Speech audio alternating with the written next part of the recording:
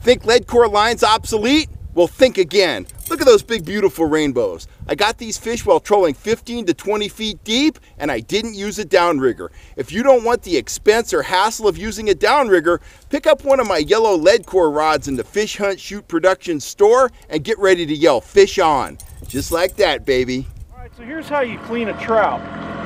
Cal and Gene decided to keep a couple of these for dinner, beautiful thick rainbows. We're gonna start at the vent hole we're going to come all the way up the gut here, all the way through. There's a little bit of soft skin on either side of the jaw right here that if you just push the knife straight through and pull it to the front, that's going to open up your jaw.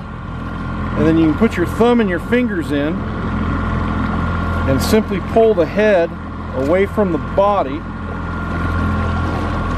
the whole line of entrails will come out along with the front pectoral fins of the trout.